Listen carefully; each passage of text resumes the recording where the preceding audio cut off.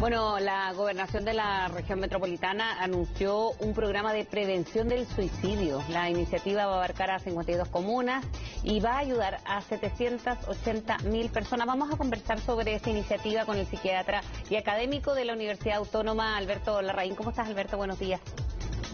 Muy buenos días, Francia, muy buenos días a toda la gente que está hoy día viéndonos. Igualmente, gracias por hablar con nosotros un domingo por la mañana, porque cuando uno conoce estos planes eh, para prevención del suicidio es que hemos pasado también una, una temporada muy ingrata en materia de salud mental, ¿no? Cuando ya estamos hablando para prevenir derechamente el suicidio, Alberto. ¿Qué ha pasado en esta época, eh, sobre todo eh, durante la pandemia? No es pospandemia porque seguimos en ella, pero ya dejando fuera el encierro, hay otros efectos que empezaron a cultivarse mucho de, mucho de, eso en, la pandemia propiamente tal o al inicio de ella. Efectivamente, eh, desde el inicio de la pandemia, la, Organización Mundial de la Salud ha sido enfática en señalar que los países tienen que abordar tanto el tema del COVID como el tema de salud mental y que el tema de salud mental iba a ser la segunda pandemia. Eh, lamentablemente, desde, desde el comienzo de la pandemia, Chile no ha tomado todas las estrategias ni todas las medidas que podrían eh, haberse tomado y este plan el Fondo de Prevención de Suicidio viene a ser la primera respuesta más bien estructural eh, que está pensado en el Fondo para la región metropolitana eh, para poder enfrentar un poco las repercusiones que está teniendo el tema de, del COVID.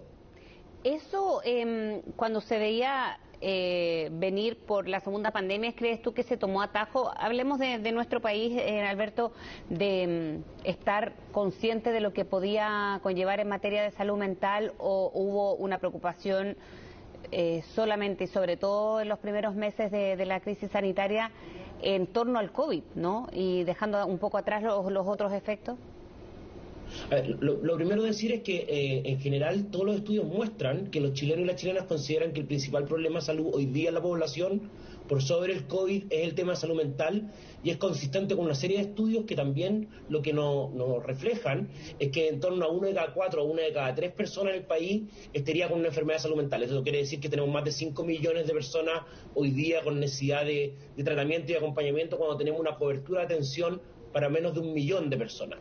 Eh, lamentablemente eh, ha sido lenta la respuesta y, uno puede tener eh, ejemplos bien concretos. Por ejemplo, el hecho de que no hayamos tenido, en lo que va de la pandemia, incluyéndonos ahora, una campaña comunicacional en relación al tema de salud mental, que tampoco tengamos protocolos ni procedimientos respecto a cómo acompañar a las familias que han sufrido alguna pérdida respecto a, los fallecimientos por el, COVID, eh, y tampoco hemos logrado generar los protocolos eh, de implementación para poder en el fondo eh, prevenir una serie de, de, hechos donde estaba descrito que no solamente podía haber un incremento en los intentos de suicidio, también en, en el consumo de alcohol y de droga y en la depresión, sino también en casos como el aumento de violencia como lo hemos visto a principio de año. Lamentablemente al gobierno que viene ahora de entrada le ha tocado en el fondo tratar de empezar a, actuar sobre la marcha y eso lo hace muy, muy difícil. Yo estuve durante más de un año en la Comisión Presidencial de, Salud Mental que se organizó en el, en el gobierno pasado, pero logramos eh, muy pocas en el fondo acciones concretas. Lo, más que logramos fue que no nos, no nos redujeron el presupuesto, que mm. habría sido más, más catastrófico que lo que, lo que hoy día es, pero no hemos logrado una respuesta coordinada y consistente respecto a la magnitud del problema que tenemos. Yo creo que la, gente eh, es muy clara eh, en decirlo y también vivirlo, la dificultad que tiene para poder acceder a la atención, los costos que tiene la atención y las repercusiones familiares que tiene cuando tienen a alguien con una enfermedad mental. Y va encaminada este, este plan de prevención del suicidio, por ejemplo, que ayer el gobierno regional dio a conocer. Por ahí van algunas medidas porque eh, como te decía al inicio de, la conversación, es como que llegamos, tocamos fondo y estamos hablando de un plan de prevención del suicidio y no de planes para ir a, prevenir las enfermedades de salud mental o hacer seguimientos quizás más integrales para evitar llegar a este tipo de planes, ¿o no? voy, a tratar de explicarte por qué en el fondo el tema del suicidio es tan importante eh, para la salud mental, así como para hacer un, un parangón y una comparación, eh, y eso fue lo que nos hizo en el fondo que el, que el gobernador Orrego efectivamente lograra dimensionar y tomar esto como una, una medida estructural del plan de gobierno del gobierno regional de la región metropolitana. El suicidio para la salud mental es como el infarto para la cardiología. ¿ya? En la medida que el suicidio se empieza a abordar, lo que está visto y estudiado en la mayoría de los países es que empiezan a aumentar las coberturas de atención y en el fondo la capacidad del sistema de responder. Además, el suicidio per se es el indicador aproximado más cercano que tenemos a cómo está la globalidad de la salud mental de una población.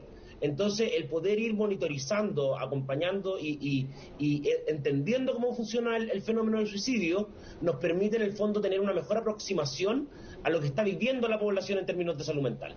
Entonces, en, ese contexto, lamentablemente en Chile, eh, el tema del suicidio, por ejemplo, no está ni siquiera dentro de las canastas GES.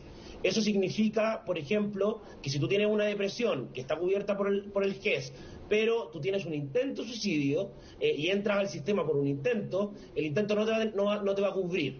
Eh, lo que busca este, este programa, efectivamente en distintos niveles, que es un programa que está articulado por la, sociedad civil, hay siete fundaciones que están articuladas para poder en el fondo eh, poder ejecutar el programa, que son la Fundación para la Confianza, la Fundación Míranos, la Fundación Círculo Polar, la Fundación Katy Summer, la Fundación José Ignacio, la Fundación Todo Mejora eh, y, la, Fundación Pro, Cultura.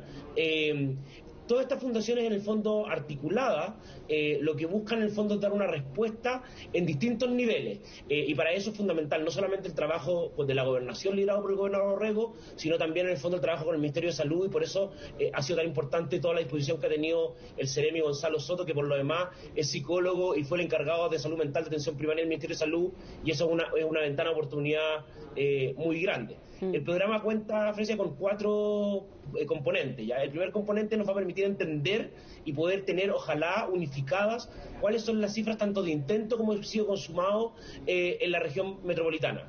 El segundo componente es un componente que nos busca ayudar a sensibilizar y generar capacidades y como tú bien lo decías en la nota, tiene una bajada por las 52 comunas de la región metropolitana que van a ser capacitadas para poder empezar a generar sus propios programas de prevención de suicidio eh, y con focos específicos, con focos de género, con foco en, la etapa escolar, eh, en el ciberbullying, en la diversidad sexual y en las personas mayores. Además va a haber una, línea telefónica que va a estar liderada por la, Fundación para la Confianza, que nos va a permitir tener una capacidad de atención de cerca de 30.000 personas al año que puedan recibir en el fondo contención y acompañamiento psicológico como una primera respuesta a lo que están viviendo porque se ha visto que eso disminuye de manera importante el suicidio. El tercer nivel está dado por eh, poder empezar a sensibilizar aún más a los medios de comunicación capacitarlos respecto a cómo tienen que abordar el tema de la prevención del suicidio y a su vez poder, a través del Círculo Polar, generar una inclusión laboral eh, de personas que están hoy día con enfermedades mentales de manera importante y que pueden acompañar eh, distintos procesos de estigma.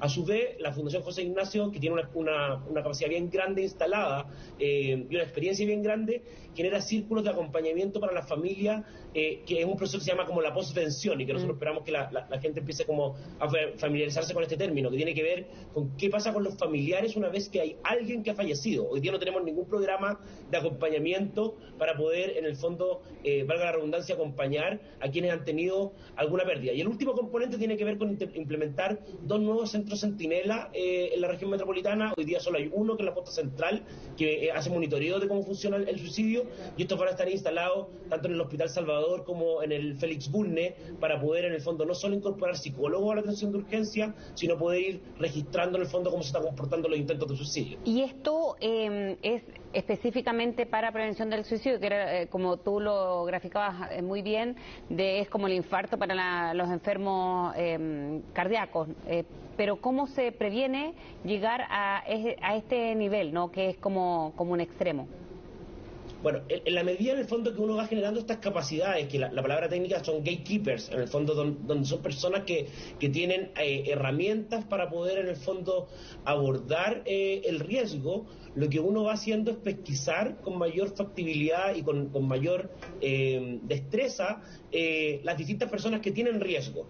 Y eso no solamente tiene un impacto en la disminución del intento de suicidio y del suicidio consumado, sino que efectivamente, como te explicaba, lo que va haciendo es que vayamos comprendiendo cuáles son los factores de riesgo que incrementan las enfermedades mentales per se. Acá hay un, un continuo, un continuo entre distintas enfermedades mentales y el suicidio. En el, caso del suicidio, el 90% del suicidio es por una enfermedad mental, el 10% restante para la gente que nos escucha tiene que ver con razones culturales o ideológicas que no están asociados eh, a una enfermedad, pero en, su gran mayoría el suicidio es por una enfermedad mental y poder en el fondo familiarizarnos con estos factores de riesgo hacen en el fondo que el tema de la salud mental, que tiene un estigma muy fuerte, que hace que la gente no consulte y que efectivamente... Eh, vaya en el fondo a, consultar muy, muy tarde, eh, vaya cambiando esa, esa realidad. Este programa son aproximadamente 1.700 millones que tienen financiamiento para, para dos años en la región metropolitana. El objetivo en el fondo, y así lo ha hecho ver también el,